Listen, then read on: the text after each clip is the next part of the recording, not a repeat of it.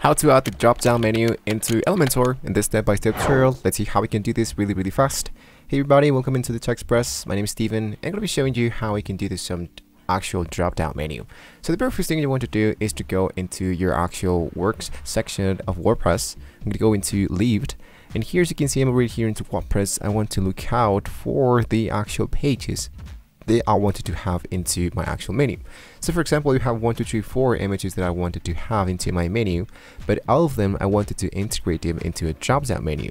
So first of all, I go into Appearance, I'm going to go into Menus, and here what you can do is to create a new actual menu. So let's go and look out for a menu name.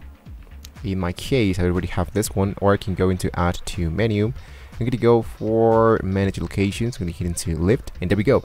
So as you can see, you have the theme locator of the header. I only have two menus available in here. I'm going to hit into my save changes. And now into edit my menus, let's select our menu, which in my case is this one. I'm going to go back into the home page.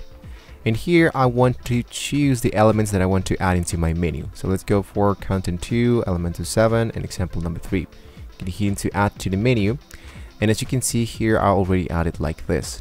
But I wanted to have all of these elements into my drop down menu of this element of my privacy policy and into my element number 7 so I'm going to type here and instead of leaving like that I'm going to just I'm just going to retract this like a little bit like this. So this one is going to be like a saved item. Take a look into how is the actual name saved item. And I'm going to do exactly the same thing with content number 2 and example number 3 and just like that, my save item should be added like if this was a drop-down menu.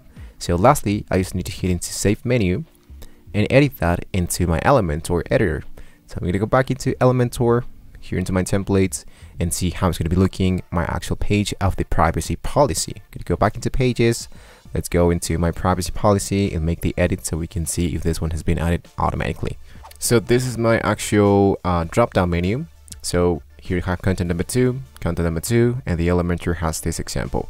This is just a header that of course I need to change and customize. I need to add a few stuff here, but my actual uh, global section, I just need to click here and make sure that all my elements have now been edited into the advanced mode. But this is how we can do this. I mean, the last thing you need to do is to make the customization, the design and all that.